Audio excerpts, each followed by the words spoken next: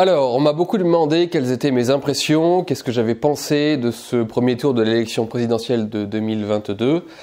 Et euh, j'ai vu surtout beaucoup, beaucoup de gens, en particulier parmi les jeunes, qui s'étaient engagés auprès d'Éric Zemmour pour cette campagne, qui, ont été évidemment et qui sont toujours extrêmement déprimés suite au score, au faible score, il ne faut pas se le cacher, de leur champion Éric Zemmour et euh, du grand score, par exemple, de Jean-Luc Mélenchon, euh, et ainsi de suite. Donc je vais faire cette vidéo, enfin cette petite causerie avec vous, très rapide, pour, euh, pour essayer de vous remonter le moral et je ne vais pas euh, comment dire mentir, je ne vais pas non plus trop forcer le trait, juste histoire de vous, de vous remonter le moral et de vous redonner du baume au cœur. Je vais essayer d'être factuel et de vous donner quelques éléments qui peuvent quand même vous donner euh, de l'espoir pour l'avenir et surtout vous faire regarder finalement ce premier tour d'une façon un peu différente et pas de façon simplement triste et simplement euh, euh, désespérante.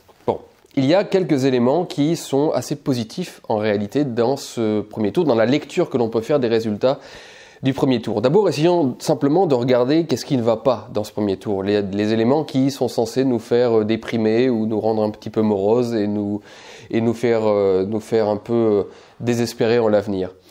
Qu'est-ce qu'on a découvert en réalité? Qu'est-ce que les gens découvrent? On découvre quoi? Que euh, la gauche finalement n'est pas si importante que ça dans ce pays, puisque Jean-Luc Mélenchon plus tous les autres petits candidats de gauche réunis, ça fait 25% au maximum. Donc la gauche réunie, tout entière, ne fait pas un score immense. Bon, première chose. Deuxièmement, on découvre, alors ça c'est plutôt bien, on découvre qu'il y a un vote communautaire qui se profile de plus en plus. Mais en réalité, ce vote communautaire, c'est-à-dire le fait que les musulmans votent en masse désormais pour un candidat, ce fait-là existait déjà depuis des années. En réalité, si on savait lire et si on simplement regardait les statistiques et les sondages, euh, dès 2012, on avait vu que 93%, je crois, des musulmans avaient voté François Hollande, ce qui déjà était les prémices et les prodromes d'un vote communautaire. Alors maintenant, la différence, et c'est une chose positive pour nous, c'est que les gens, les journalistes dans leur ensemble, j'ai l'impression, s'aperçoivent que ce vote communautaire existe, alors qu'encore une fois, il existait déjà depuis très longtemps. Ils s'aperçoivent que les musulmans, oui, ont voté, je crois, à 60%, et surtout dans certains quartiers, dans certaines villes grand remplacées, euh, ils ont voté en grande majorité pour Jean-Luc Mélenchon. Donc c'est bien pour nous parce qu'en fait, aujourd'hui, heureusement, les gens se rendent compte, mais ce fait-là existait déjà depuis très très longtemps. Donc la gauche réunie fait à peine 25%. Le vote communautaire est enfin visible et lisible dans les médias, les gens commencent à en parler et ça c'est plutôt positif. Et après dans les choses négatives, Qu'avons-nous appris? Nous avons appris que les boomers votaient Macron qui, franchement, pensaient que les boomers, après leur cinquième ou sixième dose, avaient, eu une élimination qui d'un coup allait les faire changer, allait les faire réaliser euh, quel était l'état de la France, et faire en sorte qu'ils allaient voter, se reporter sur Éric Zemmour, Marine Le Pen ou un autre candidat. Personne ne pensait cela. Ou si vous avez pensé cela, il est temps de vous prendre de grandes cures de réalisme. Les boomers ont voté Macron, nous le savions, ce sera comme ça encore demain. Mais l'avantage des personnes âgées, vous savez, c'est qu'elles décèdent dès qu'elles meurent. Et lorsque l'on regarde plutôt les, gens qui sont dans la tranche d'âge 25-40 ans, 45 ans, c'est-à-dire en gros les actifs, eh bien ces gens-là votent en majorité pour Marine Le Pen, pour Éric Zemmour, pour des ou s'abstiennent, mais en tout cas ne votent pas euh, en majorité pour, euh, pour Macron. Donc c'est plutôt quelque chose de positif. Nous, du moment que l'on sait, du moment qu'on a accepté le fait que précisément les boomers sont, euh, les vieux veulent se, rassurer et votent centristes, eh bien voilà, il n'y a rien d'étonnant à cela de voir Emmanuel Macron si haut dès ce premier tour et peut-être en possibilité de gagner à nouveau l'élection présidentielle. Il faut regarder en face la pyramide des âges en France. Il faut bien accepter le fait que les personnes âgées votent le plus, votent en masse, et que par conséquent, le candidat centriste, le candidat déjà en place, le candidat qui rassure, le candidat qui, qui passe pour le gendre idéal, eh bien, sera euh, leur candidat, quoi qu'il advienne, et ce n'est pas encore une fois leur cinquième ou sixième dose qui changera quoi que ce soit, au contraire, ça ne va faire qu'amplifier ce phénomène, parce qu'il y a un phénomène moutonnier, euh, bref, c'est un phénomène psychologique qui est assez euh, facile à comprendre. Donc, nous, ne découvrons rien dans cette élection. Les boomers votent Macron, d'accord. Alors après on pourrait se dire, il y a une chose qui peut être inquiétante, c'est que la majorité, euh, pas la majorité, mais en tout cas le plus gros score réalisé auprès des 18-24 ans fut celui pour, Jean-Luc Mélenchon. Et si on additionne euh, le vote pour Macron, qui est en fait la gauche libérale, hein, il y a la gauche libérale et la gauche socialiste, les deux, les, deux, facettes d'une même pièce en réalité quand on connaît ce qu'est la gauche, en tout cas philosophiquement. Donc on se dit qu'il y, a 50%, je crois, ou un petit peu plus de 50% de jeunes, de, donc de 18-24 ans, qui votent pour la gauche, c'est-à-dire soit sa facette libérale avec Macron, soit sa facette socialiste avec Mélenchon. Mais nous le savions déjà cela aussi. Depuis quand l'on découvre que la jeunesse, euh, la moitié de la jeunesse, à minima, est de gauche? En quoi il y a quelque chose d'absolument révolutionnaire là-dedans. Nous le savons depuis des années et je trouve même que c'est assez faible finalement quand on sait à quel point la jeunesse est travaillée tous les jours, vraiment quotidiennement, en permanence par l'éducation nationale qui est 100% de gauche, par tout, par tout ce qui est euh, euh, culturel, culturel, euh, audiovisuel, les, les séries, les films comme Netflix et ainsi de suite. Quand on sait à quel point la jeunesse est travaillée pour qu'elle soit pro-multiculturalisme, gauchiste, écologiste dans le mauvais sens du bref, finalement, n'avoir que 50% de jeunes qui se considèrent comme de gauche, de 18-24 ans, c'est finalement pas si énorme que ça. Honnêtement, hein, je sais que euh, je j'essaye de regarder le verre à moitié, à moitié plein plutôt qu'à moitié vide, mais c'est important aussi de faire cela. Finalement, je vous dis, compte tenu de toute la propagande immense que la jeunesse française subit, bien 35% qui votent Mélenchon, qui promet un monde meilleur, qui promet pas mal de, pas mal de, pas mal de choses, c'est finalement pas énorme. Et à la limite, c'est normal. C'est normal et plutôt bien parce que Jean-Luc Mélenchon, et je ne vais pas m'apaisantir là-dessus car il faudra en parler plus tard euh, dans d'autres vidéos, dans d'autres travaux, Jean-Luc Mélenchon proposait une alternative, proposer un autre monde, ce que ne fait pas la droite. Et ça, c'est un reproche que nous pouvons nous, nous faire à nous-mêmes, puisque euh, la droite propose le même monde, mais sans les racailles, pour ne parler que, que de ça, hein, pour parler que des, en termes fleuris, parce que racaille est un terme fleuri compte tenu de ce que je pense de ces gens-là. Donc nous proposons exactement la même société, simplement sans l'immigration et, sans surtout les racailles, c'est-à-dire les gens qui, qui nous importunent et qui nous empêchent de vivre tranquillement. C'est déjà bien, vous me direz, mais ce n'est pas assez. Heureusement que la jeunesse cherche un autre monde, une alternative, la, possibilité d'un monde meilleur. C'est tout à fait logique, c'est tout à fait normal, et nous devons travailler à cela, à savoir proposer aussi un monde euh, meilleur, un monde différent que le monde euh, dans lequel nous vivons, et pas seulement le même sans les racailles. Donc je vous dis encore une fois, il n'y a rien d'illogique là-dedans. Donc Qu'avons-nous appris? Nous n'avons pas appris de nouvelles choses qui euh, sont susceptibles de vraiment nous briser le cœur. Je suis navré, tout s'est passé selon, selon le plan. Alors après, il y a la question du vote Zemmour et du vote Marine Le Pen. Beaucoup de gens pensaient, imaginaient que Zemmour puisse être au second tour, puisse remplacer Marine Le Pen, et ce n'est pas advenu. Mais là, encore une fois, il va falloir faire une cure de réalisme. J'ai dit dans ma dernière vidéo que Marine Le Pen avait fait une bonne campagne, au sens qu'elle avait fait une campagne politicienne et une campagne qui se rapprocher le plus de ce qu'il faut faire en démocratie, et encore une fois, compte tenu de la fatigue mentale de ce pays, de, sa démographie, de sa pyramide des âges et de tout le reste. Il faut faire une campagne à l'eau tiède. Une campagne présidentielle se gagne à l'eau tiède. Parfois, on peut mettre un petit peu d'alcool histoire de griser ses militants, mais une campagne présidentielle ne se gagne pas avec du café fort, et en particulier du café fort dans lequel on met du whisky, c'est-à-dire la campagne fait Éric Zemmour. C'est très bien, ça nous grise, nous, en tant que militants, puisque nous avons la tête qui tourne. Nous buvons cette, cette Irish coffee euh, avec délectation, car nous aimons les paroles fortes, nous aimons ce qui, ce qui casse un petit peu justement ce conformisme ambiant parce que nous sommes jeunes et nous sommes pleins de vie, mais ce n'est pas comme ça, je suis navré de vous le dire, que l'on gagne une campagne présidentielle, on la gagne en rassurant, on la gagne avec du thé, avec de la camomille, ou éventuellement avec du cannabis pour ce qui est des électeurs de Jean-Luc Mélenchon, car l'idée est d'endormir un peu tout le monde et de rassurer un pays qui est tremblotant. Bon. Donc Éric Zemmour, lui, est arrivé avec des vérités très fortes, est arrivé avec une sincérité en n'étant pas politicien, et il fait quand même 7%, ce qui paraît faible, mais qui est en fait énorme si l'on considère qu'en réalité, les gens qui ont voté pour Éric Zemmour constituent une minorité, une minorité identitaire, une minorité radicalisée, mais au bon sens du terme, une minorité donc qui est capable de faire l'histoire. Et c'est ça qui est important. Hein. Je, je, vais être un peu nietzschéen, histoire d'être un peu sarcastique, mais euh, finalement, être dans la majorité, quand on est du côté de la majorité, c'est qu'on se trompe quelque part, c'est qu'on a dit une bêtise ou qu'on n'a pas été totalement sincère et honnête. Hein. il faut quand même en avoir conscience. Donc, Marine Le Pen, elle, étant est en passe peut-être d'obtenir une majorité et pour cela il faudra qu'elle mette encore plus d'eau dans son vin. Je suis désolé de le dire et là je vais m'opposer à ce que dit généralement mon camp depuis, depuis hier, depuis, depuis cette élection, ce premier tour des élections présidentielles, de l'élection présidentielle. Je pense effectivement que Marine n'a pas tellement à s'adresser aux électeurs d'Éric Zemmour pour ce second tour. Je pense qu'elle doit surtout faire le moins d'erreurs possible, euh, de ne pas provoquer des, des euh, se montrer la moins radicale possible, la moins identitaire possible hélas, mais c'est comme ça pour justement faire en sorte qu'elle qu'elle puisse bénéficier du tout sauf Macron et qu'elle puisse ne pas euh, mobiliser en face d'elle trop de gens qui voudraient faire barrage à l'extrême droite.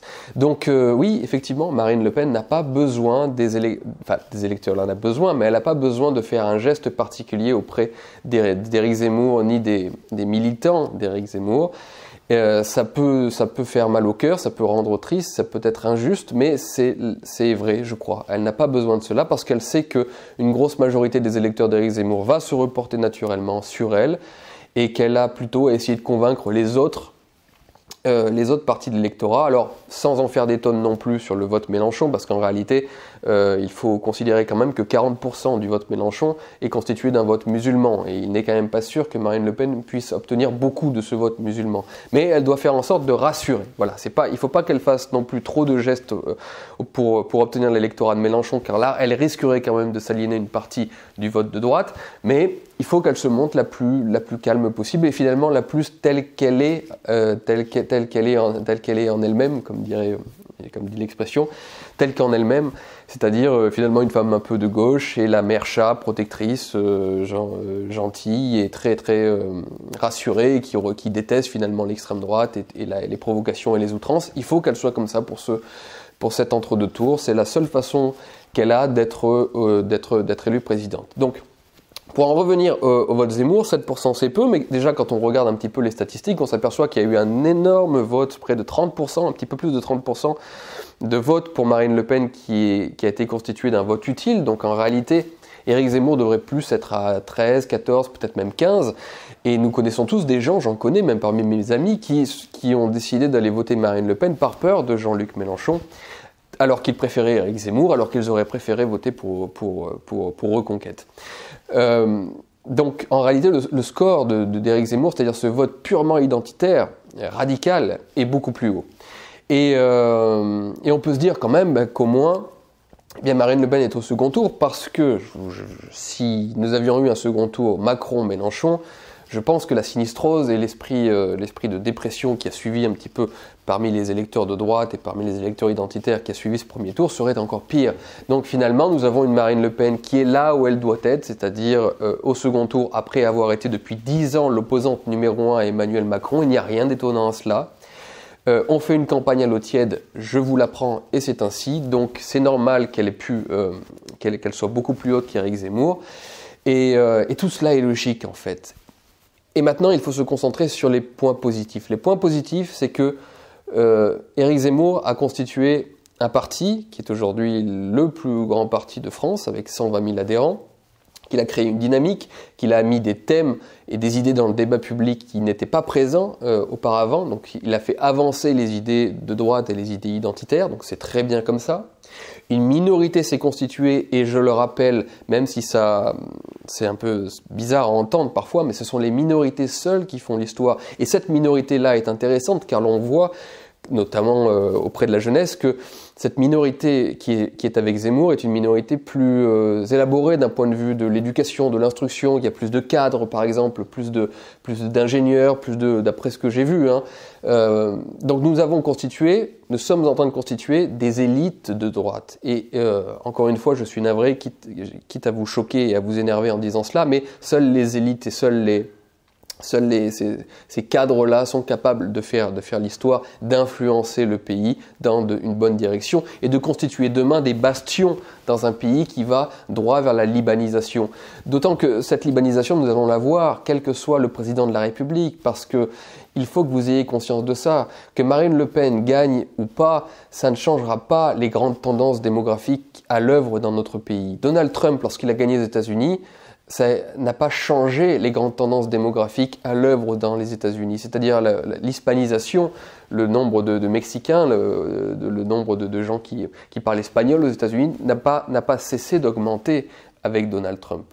Et si Marine Le Pen était au pouvoir demain, euh, elle ferait du mieux qu'elle peut, j'en suis sûr, pour, pour être plus sévère dans, la, justice, pour mettre des délinquants euh, hors, d'état de nuire et ainsi de suite. Mais les grandes, les grandes tendances démographiques ne changeraient pas, en tout cas pas tout de suite. Donc de toute façon, nous aurons à vivre dans un pays qui ressemblera de plus en plus au Liban. Donc nous avons besoin de ces élites, de ces cadres qui, qui vont prendre de l'importance dans la société pour être capables de l'influencer au maximum dans notre sens et pour nos propres intérêts. Et ça, Seules les minorités en sont capables et cette minorité s'est constituée, on a pu le voir de nos yeux avec cette campagne présidentielle. Donc 7% c'est très bien parce que nous pouvons donc nous appuyer sur quand même près de 2 millions de personnes radicalisées, encore une fois au bon sens du terme, qui sont très très conscients des enjeux pour les années à venir et qui, euh, en plus, quand on pense à cette jeunesse, à ces, jeunes cadres, à ces jeunes étudiants, qui, je l'espère, resteront comme ça toute leur vie et qui le resteront sûrement, eh bien, euh, pourront encore une fois constituer cette élite nouvelle qui est censée remplacer cette élite de gauche que nous subissons depuis déjà pas mal de temps. Donc le fait que nous soyons une minorité, c'est très bien, c'est une excellente nouvelle, même si ça vous paraît bizarre dans une élection démocratique où le but évidemment c'est d'obtenir la majorité. Non, c'est très bien qu'il y ait une majorité plus, peut-être, en tout cas 47, 48, 49, peut-être 51% pour Marine Le Pen, mais qui soit constituée plus d'eau tiède, c'est logique, normal et naturel, et qu'à côté de cela, il y ait une minorité qui se soit créée et qui va travailler de concert qui va, je l'espère, euh, créer des réseaux importants. Et je, m'intègre à tout cela. Hein. Ça m'oblige moi aussi à faire d'autant plus, à travailler d'autant plus pour convaincre la jeunesse, et pas que pour convaincre les gens, et pour créer tous ces réseaux, créer toutes ces forces de synergie qui pourront avoir une véritable influence sur le pays. Donc il y a une minorité puissante, une minorité radicale, une minorité agressive, comme dirait Nassim Nicolas Taleb, qui s'est créée dans le sillage de reconquête et qui va se créer et qui va s'organiser. Donc c'est très très bien, c'est une bonne nouvelle. Et la deuxième bonne nouvelle, c'est que le bébé de tout cela, ça peut être aussi un parti. Donc là, je parlais de la minorité qui peut travailler au niveau culturel, au niveau économique, au niveau de tout ce qui a vraiment de l'importance et de l'influence. Mais il y a aussi un aspect politique qui peut être extrêmement utile et intéressant, c'est que Marine Le Pen n'a pas pu, n'a pas su, n'a pas voulu constituer un parti qui soit capable, comme l'UMP à l'époque euh, de, Sarkozy en 2007, comme, euh, comme le grand parti gaulliste par exemple, qui était capable de rassembler différents courants, différentes écoles, différentes chapelles pour travailler euh, dans, euh, dans une seule et même direction, mais qui soit quand même assez large justement pour, euh, pour tolérer d'autres choses qu'une simple tête unique et uniforme, ce que le clan autour de Marine euh, veut à tout prix, c'est-à-dire qu'il n'y ait que des marinistes purs et durs, et même s'il y a deux, trois personnalités un peu différentes, euh, le Front National, le Rassemblement National a toujours refusé d'avoir ses chapelles et ses courants.